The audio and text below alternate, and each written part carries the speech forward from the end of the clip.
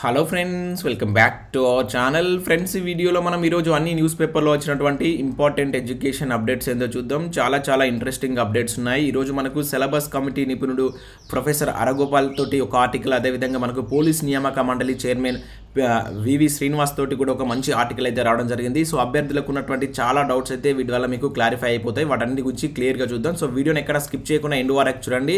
చూసే ప్రతి ఒక్కరు ఖచ్చితంగా లైక్ చేయండి. ప్రతిరోజు మీకు యూజ్ అయ్యే ఇన్ఫర్మేషన్ మన ఛానల్ ద్వారా అందించడం జరుగుతుంది.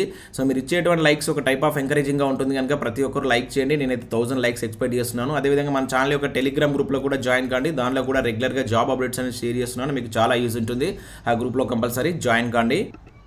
ఫ్రెండ్స్ నేను అకాడమీ ప్లాట్ఫామ్ మీద ప్రతిరోజు జనరల్ స్టడీస్కి సంబంధించినటువంటి గ్రాండ్ టెస్ట్లు అయితే కండక్ట్ చేస్తున్నాను. మధ్యాహ్నం టూ ఓ క్లాక్ జనరల్ సైన్స్కి సంబంధించినటువంటి గ్రాండ్ టెస్ట్ ఉంటుంది.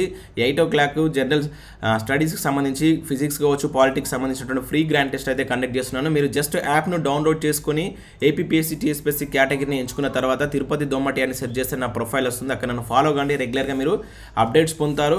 ఇంకా వీటిలో group one group two SI కానిస్టేబుల్కి సంబంధించినటువంటి కోర్సెస్ అయితే అందుబాటులో ఉన్నాయి. ఈ వీక్లో మీకు ఇటువంటి ఆస్క్ మీ ఎనీథింగ్ లాంటి ప్రోగ్రామ్స్ కావచ్చు అదేవిధంగా డ్యూల్ ఎడ్యుకేటర్ సెషన్స్ అనేవి కండక్ట్ చేస్తూ మీకున్న డౌట్స్ని క్లారిఫై చేస్తారు.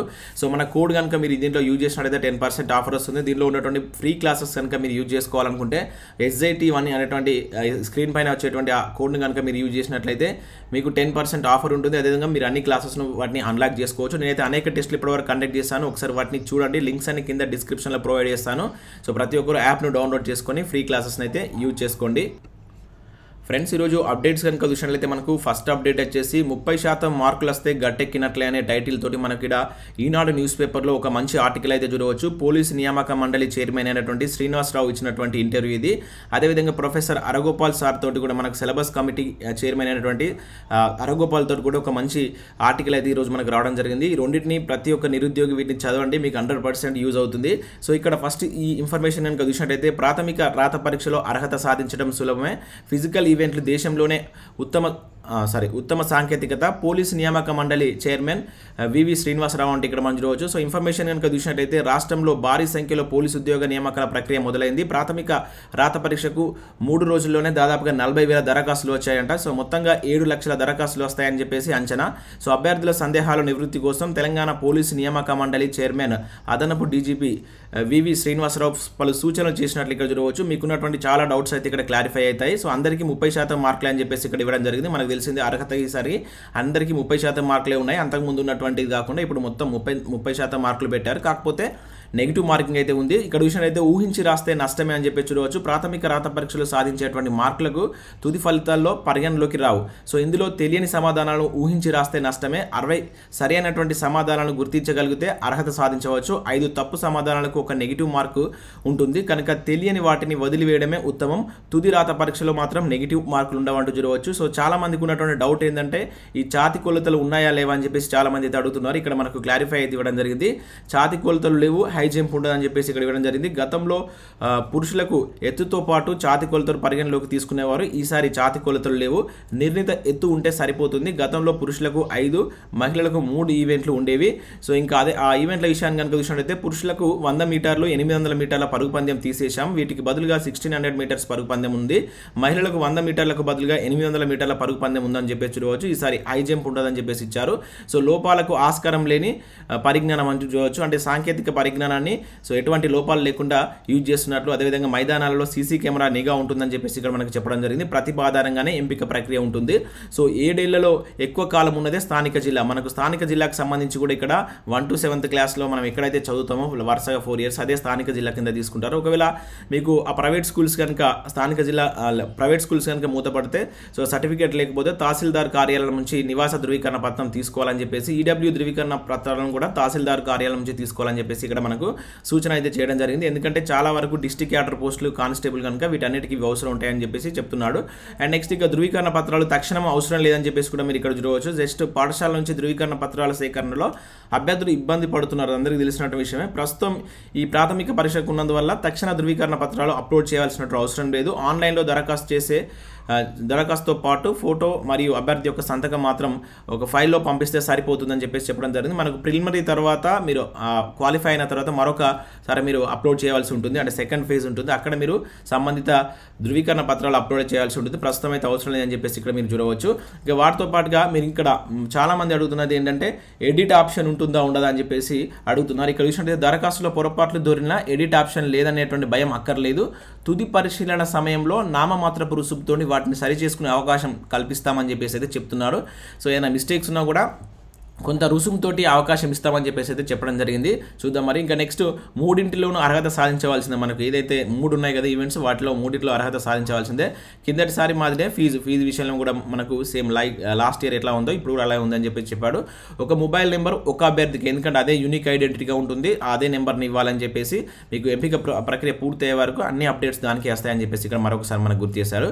ఫ్రెండ్స్ మన ఛానల్ ద్వారా ఎస్ఐ కానిస్టేబుల్ కావచ్చు గ్రూప్ ఫోర్కి సంబంధించినటువంటి ఫుల్ వీడియో కార్స్ క్లాసెస్ సంబంధించిన కోర్సు మన ఛానల్లో అప్డేట్ అప్డేట్ అప్డేట్ చేశాము. సో దీని కాస్ట్ వచ్చేసి five hundred rupees six months validity ఉంటుంది. మీకు టాప్ మోస్ట్ ఫ్యాకల్టీ చేత ఈ క్లాస్ అయితే చెప్పించడం జరిగింది. మీరు మొదటగా దానిలో ఉన్నటువంటి డెమో క్లాసెస్ వినండి. నచ్చితేనే వీటికి సంబంధించి అయితే పర్చేస్ చేయండి. ఇంకా అవే కాకుండా కరెంట్ అఫేర్స్ పీడిఎఫ్ కూడా అందుబాటులో ఉన్నాయి. ఇంకా నెక్స్ట్ వన్ ఆర్ టూ డేస్లో టెట్కి సంబంధించినటువంటి ఫిఫ్టీన్ మోడల్ పేపర్స్ రాబోతున్నాయి. ఈ నెల ఫిఫ్టీన్త్ వరకు ఉద్యమ చరిత్రకు సంబంధించినటువంటి టెస్ట్ సిరీస్ కూడా దానిలోకి వస్తాయి. ఇలా మీకు రాబోయే ఉండేటువంటి ప్రతి ఎగ్జామ్ సంబంధించిన మోడల్ పేపర్స్ కావచ్చు అవన్నిటిని మన యాప్లోకి తీసుకొస్తాం. ప్రతి ఒక్కరు యాప్ను డౌన్లోడ్ చేసుకోండి. ఇంట్రెస్ట్ ఉన్న వాళ్ళు వీటి కోర్సెస్ కూడా బై చేయండి. కింద లింక్ ఉంటుంది. సో నెక్స్ట్ గురుకులాల్లో ఖాళీల భర్తీ ఎప్పుడంటే ఇక్కడ ఒక అప్డేట్ చూడవచ్చు. ప్రతిపాదనను పంపిన ఆమోదించని ఆర్థిక శాఖ అని చెప్పేసి ఇచ్చారు. అన్ని సొసైటీలో కలిపి పదివేలకు పైగా ఖాళీలు.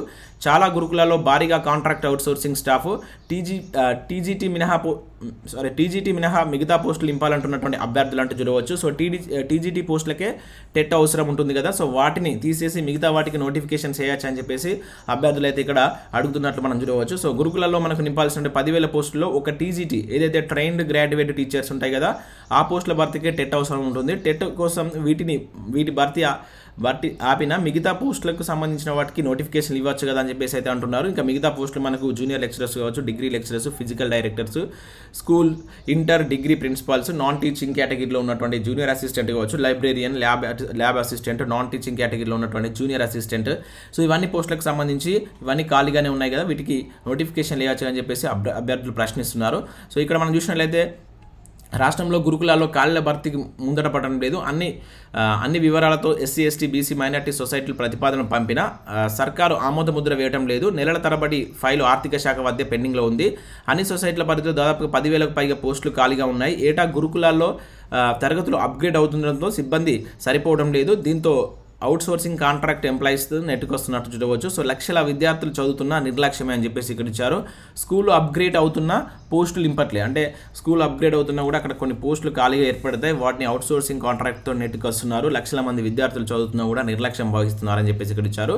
సో మరొక మంచి ఆర్టికల్ ఇక్కడ చూడవచ్చు. మూలాల్లోకి వెళ్తే సక్సెస్ మీదే అంటూ మనకిడ ప్రొఫెసర్ అరగోపాల్ తోటి ఒక మంచి ఇంటర్వ్యూ అయితే మనకు సాక్షి చేయడం జరిగింది. ప్రతి ఒక్క అభ్యర్థి వీటిని అయితే దీన్ని అయితే చదవండి. చాలా ఎక్సలెంట్ న్యూస్ అయితే మనకి ఈరోజు రావడం జరిగింది. ఇక్కడ చూసినట్టయితే గ్రూప్స్ పరీక్షల్లో మనకు తెలిసింది కాదు అడిగింది రాయాలి రాజ్యాంగాన్ని జల్లడ పట్టాలి కోచింగ్ సెంటర్లది కమర్షియల్ కోణం అర్థం పర్థం లేని మెటీరియల్స్ చదవడం వృధా కీలకమైన తరుణంలో తెలుగు అకాడమీ డీలా పడిందంటూ విమర్శించడం జరిగింది. సో ఇక్కడ మీకు తెలుసు మెటీరియల్ అనేది చాలా మనకు ఆ మార్కెట్లో ఉంది. ఇక్కడనే మీ యొక్క సక్సెస్ మీరు మెటీరియల్ని ఎంచుకునేటువంటి విధానంలోనే మీకు ఫిఫ్టీ పర్సెంట్ సక్సెస్ అనేటువంటి చేకూరుతుంది. చాలా జాగ్రత్తగా మంచి బుక్స్ తీసుకోండి. అండ్ ఇదే ఇక్కడ మనకు తెలుగు అకాడమీ కూడా సరిగా బుక్స్ అయితే అందించట్లేదు. మనం చూస్తున్నాం ఇదే మనకు మెయిన్ టైం ఈ టైంలోనే తెలుగు అకాడమీ బుక్స్ అందట్లేదు అని చెప్పేసి కూడా ఇక్కడ విమర్శించినట్టు చూడవచ్చు. సో ఇక్కడ దీనికి సంబంధించి చూసినట్లయితే గ్రూప్స్ పరీక్షలకు సిద్ధమయ్యేటువంటి అభ్యర్థుల పుస్తకాలపై దృష్టి కన్నా సడలని ఆత్మవిశ్వాసం అసలైనటువంటి ఆయుధమని సామాజికవేత్త పబ్లిక్ సర్వీస్ కమిషన్ గ్రూప్స్ పరీక్షల సిలబస్ కమిటీ చైర్మన్ అయినటువంటి ప్రొఫెసర్ హరగోపాల్ చెప్పారు. సో పై పైన చదవకుండా మూలాల్లోకి వెళ్ళి అధ్యయనం చేసి చేసేవారే పరీక్షల్లో విజయం సాధిస్తారని స్పష్టం చేశారు. విస్తృత భావజాలనతో గ్రూప్ వన్ సిలబస్ను రూపొందించామని విషయాల ఆలోచన ధోరణితో అవగాహన చేసుకుంటే అభ్యర్థులు సునాశయంగా గెలుపు బాట పట్టవచ్చని తెలిపారు. గ్రూప్స్ పరీక్షల నేపథ్యంలో హరగోపాల్ సాక్షికి ప్రత్యేక ఇంటర్వ్యూ ఇచ్చారు. ఈ వివరాలను ఆయన మాటల్లో అంటే ఇక్కడ మనం చూడవచ్చు. సో ఇక్కడ చూసినట్లయితే స్థానిక చరిత్రకే ప్రాధాన్యం. సో తెలంగాణ ఏర్పాటు తర్వాత పబ్లిక్ సర్వీస్ కమిషన్ విశాల దృక్పథంతో ఉండాలన్నది ప్రభుత్వ లక్ష్యం. ఈ దశలోనే పరీక్ష సిలబస్ విభిన్నంగా ఉండాలని నేను చైర్మన్గా పద్దెనిమిది మంది ప్రభుత్వ కమిటీతో ప్రభుత్వం కమిటీ వేసింది. అందులో కోదండరామ్ కావచ్చు చుక్కారామయ్య లాంటి సహా పలువురు విశ్వవిద్యాలయ ప్రొఫెసర్లు ఉన్నారు. సో తెలంగాణ చరిత్ర ఆర్థిక వ్యవస్థ కావచ్చు రాజకీయ నేపథ్యంతో భౌగోళిక పరిస్థితులు ప్రాధాన్యత ఇచ్చాం సో ఈ అంశాల నుంచి యాభై మార్కుల పేపర్ ఉంటుంది. రాష్ట్ర పరి పరిణామాలపై జనరల్ స్టడీస్ ఆంగ్ల భాష నైపుణ్యం టెన్త్ స్టాండర్డ్పై కనీస అవగాహన ఉండాలి. మ్యాథ్స్ కూడా సిలబస్లో జోడించాలనుకున్నాం కానీ విద్యార్థుల నుంచి వ్యతిరేకత రావడంతో చేయలేకపోయాం. అంటే ముఖ్యంగా గ్రూప్ వన్కి సంబంధించి ఇక్కడ మనకు చెప్తున్నాడు. సో ఈ విధంగా మనకు స్థానిక చరిత్ర అంటే తెలంగాణ అంశాలను మీరు పట్టు సాధించినట్లయితే ఏ ఎగ్జామ్లోనైనా మంచి రిజల్ట్ సాధించవచ్చు అని చెప్పేసి మరొకసారి ఇక్కడ మనకు తెలంగాణ మనకు ఏదైతే సిలబస్ కమిటీ నిపుణుడైనటువంటి ప్రొఫెసర్ రాఘోపాల్ గారు చెప్పడం జరిగింది. దాంతోపాటుగా ఇంటర్వ్యూ ఉంటేనే మేలని చెప్పేసి కూడా చెప్పాడు. ఇక లోతుగా అధ్యయనం చేయాలి. సో ముఖ్యంగా భారత రాజ్యాంగాన్ని లోతులోకి వెళ్ళి చదవాలి. ఉదాహరణకు ఆర్టికల్ త్రీ నాటి దేశ పరిస్థితులను బట్టి దాన్ని రాజ్యాంగంలో పొందుపరచాం దేశ సమైక్యంగా ఉండాలనేటువంటి అవసరాన్ని అప్పట్లో అంబేద్కర్ ప్రతిపాదించారు. ఇలా లోతుగా తెలుసుకుంటేనే గ్రూప్స్ రాసేటువంటి విద్యార్థులకు సమగ్ర అవగాహన ఉంటుంది. సులువుగా విజయం సాధిస్తారు ఆదేశిక సూత్రాలు సూచించేటువంటి పార్ట్ ఫోర్ చాలా ముఖ్యం. ఎలాంటి సమాజాన్ని నిర్మించాలనేది దీని నుండి సమగ్రంగా తెలుసుకోవచ్చు. రాజ్యాంగాన్ని పార్ట్ త్రీలో పౌరులకు స్వేచ్ఛ ఇచ్చాం. పార్ట్ ఫోర్లో సామాజిక న్యాయం ఉంటుంది. ఈ రెండింటికి మధ్య లింక్ తాత్విక సామాజిక కోణంలో అవగాహన చేసుకుని విద్యార్థి ఏ పరీక్ష అవగాహన చేసుకు అవగాహన చేసుకున్న విద్యార్థి ఏ పరీక్షలోనైనా కూడా విజయం సాధించగలుగుతాడు. సో ఇలాంటి గైడ్ ద్వారా ఫాలో అవ్వటం కష్టం. సో రాజ్యాంగంలో ఆర్టికల్ గురించి మాత్రమే కాకుండా వాటి నేపథ్యంలో తెలుసుకుంటే మంచి మార్కులు వస్తాయని చెప్పేసి మనకి ఇక్కడ జనరల్ ఎస్ఏ విషయంలో కావచ్చు సమకాలీన పరిస్థితుల విషయంలో కావచ్చు అధ్యయనం చేసి మంచి అంటే మంచి మెటీరియల్ తోటి చదివితే సక్సెస్ ఉంటుందని చెప్పేసి అయితే మనకి ఇక్కడ చెప్పడం జరిగింది. సో కోచింగ్ సెంటర్లది వ్యాపారమే అని చెప్పేసి చెప్తున్నారు. తెలిసింది కాదు అడిగింది రాయాలి. సో ఆత్మవిశ్వాసమే అసలైన ఆయుధం అని చెప్పేసి మనకి ఇక్కడ చెప్పడం జరిగింది.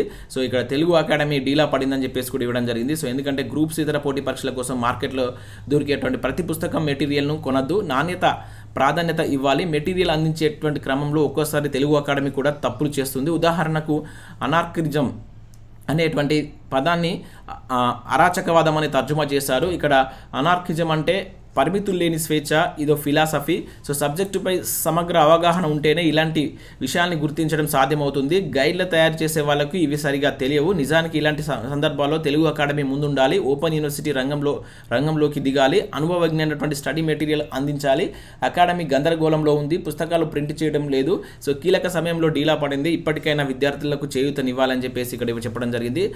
చాలా ఎక్సలెంట్ న్యూస్ అయితే ఉంది. సో ప్రతి ఒక్కరు దీన్ని చదివేటువంటి ప్రయత్నం చేయండి. అండ్ నెక్స్ట్ నెక్స్ట్ ఇక్కడ చూసినట్టయితే మనకు వ్యవసాయ శాఖ నుంచి India Indian agriculture research institute నుంచి దేశవ్యాప్తంగా ఉన్నటువంటి కార్యాలయాల్లో నాలుగు వందల అరవై రెండు పోస్టుల కోసం ఒక నోటిఫికేషన్ రిలీజ్ చేశారు. అసిస్టెంట్ పోస్టులకు సంబంధించి. దీని మీద కంప్లీట్ డీటెయిల్స్ తోటి మీకు వీడియో కావాలనుకుంటే వీడియోని లైక్ చేసి కింద కామెంట్ చేయండి. నేను పూర్తి నోటిఫికేషన్ తోటి వీడియో చేస్తాను. లేదంటే ఇక్కడ ఉన్నటువంటి వెబ్సైట్కి వెళ్ళి మీరు ఆ పీడిఎఫ్ చూడండి. ఇంకా యూపీఎస్ఎల్ నుంచి కూడా ఒక నూట ముప్పై పోస్టులకు సంబంధించి uni uranium corporation of India నుంచి కూడా నోటిఫికేషన్ అయితే రిలీజ్ అయింది. సో ఇవి ఇంజనీరింగ్ సంబంధించిన పోస్టులు. ఇంట్రెస్టెడ్ క్యాండిడేట్స్ ఎవరైనా ఉంటే అప్లై చేసుకోండి. ఇక బ్రాహ్మణ అభ్యర్థులకు దరఖాస్తు గడువు పెంపు అంటూ చూడవచ్చు. సో మనకు రీసెంట్గా వివిధ పోటీ పరీక్షలకు బ్రాహ్మణ అభ్యర్థులకు ఉచిత కోచింగ్ అయితే స్టార్ట్ చేశారు కదా. ఈ గడువును పన్నెండు నుంచి పొడిగించారు. పన్నెండు ఈ నెల పన్నెండు వరకు అయితే పొడిగించడం జరిగింది. ఏడున తుది గడువు కాగా దాన్ని ఒక ఫైవ్ డేస్ అయితే ఇక్కడ పొడిగించినట్లుగా చూడడం జరిగింది. సో ఇంట్రెస్టెడ్ క్యాండిడేట్స్ ఎవరైనా ఉంటే ఇంకా అప్లై చేసుకోకుండా అప్లై చేసుకోండి. గ్రూప్ వన్ దరఖాస్తులు ట్వంటీ సిక్స్ థౌసండ్కి అయితే చేరాయి. సో గ్రూప్ వన్ నోటిఫికేషన్ విశేష స్పందన లభిస్తుంది. గురువారం నాటికి twenty six thousand six hundred and twenty nine group one దరఖాస్తులు వచ్చాయని చెప్పేసి ఇక్కడ చెప్పడం జరిగింది. సో వన్ టైం రిజిస్ట్రేషన్ కూడా నైస్ సెవెంటీ నైన్ థౌసండ్ మంది చేసుకున్నారట. మొత్తం ఇప్పటివరకు వన్ టైం రిజిస్ట్రేషన్ కనుక చూసినట్లయితే ట్వంటీ ఫైవ్ ల్యాక్స్ మెంబర్స్ మనకు ఉండగా దానిలో one lakh seventy two members so ఈ ఎడిట్ చేసుకునే వాళ్ళ సంఖ్యకు చేరిందని చెప్పేసి ఇక్కడ ఇవ్వడం జరిగింది. సో రెండు వేల ఇరవై మూడు మే ఇరవై ఎనిమిది సివిల్ ప్రాథమిక పరీక్ష అంటూ చూడవచ్చు. రెండు వేల ఇరవై మూడులో జరిగేటువంటి పరీక్షలపై యూపీఎస్సీ వార్షిక క్యాలెండర్ అయితే రిలీజ్ చేసింది. సో దీనిలో భాగంగా రెండు వేల ఇరవై మూడులో నిర్వహించేటువంటి పరీక్ష క్యాలెండర్ విడుదలైంది. సో దానిలో భాగంగా ఫిబ్రవరి ఒకటిన సో మనకు నెక్స్ట్ ప్రిలిమ్స్లో ప్రిలిమ్స్ ఎగ్జామ్ జరుగుతుంది. అదే నెల ఇరవై ఒకటి వరకు దానికి సారీ ఫిబ్రవరి ఒకటిన విడుదలవుతుంది ఇరవై ఒకటి వరకు అప్లై చేసుకోవాల్సి ఉంటుంది. ఇరవై మూడులో జరిగేటువంటి ఇంజనీరింగ్ సర్వీస్ ఎగ్జామ్స్ కావచ్చు జియో సైంటిస్ట్ ఎగ్జామ్స్ నోటిఫికేషన్లు సెప్టెంబర్లో రాన్నట్టు ఇక్కడ ఏం జరిగింది. మనకు యూపీఎస్సీ అయితే క్యాలెండర్ రిలీజ్ చేసింది. మీరు ఒకసారి యూపీఎస్సీ వెబ్సైట్కి వెళ్తే పూర్తి వివరాలు అయితే లభిస్తాయి. సో ఇవి మనకు వివిధ న్యూస్ పేపర్లో వచ్చినటువంటి ఇంపార్టెంట్ ఎడ్యుకేషన్ అప్డేట్స్ ప్రతి ఒక్కరు సాక్షి న్యూస్ పేపర్ కావచ్చు. అదేవిధంగా ఏదైతే మనకి ఇక్కడ ఇచ్చినటువంటి మొదటగా ఈనాడు న్యూస్ పేపర్ ఇచ్చిన ఆర్టికల్ని ఒకసారి డౌన్లోడ్ చేసుకుని చదవని మీకు హండ్రెడ్ పర్సెంట్ హెల్ప్ఫుల్గా ఉంటుంది. Thanks for watching thank you everyone